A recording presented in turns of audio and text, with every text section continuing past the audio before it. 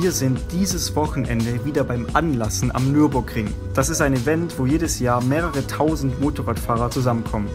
Neben dem Gottesdienst zum Saisonstart kann man da zum Beispiel auch kostenlos über die Nordschleife fahren. Äh, alle Infos dazu haben wir euch in der Beschreibung verlinkt.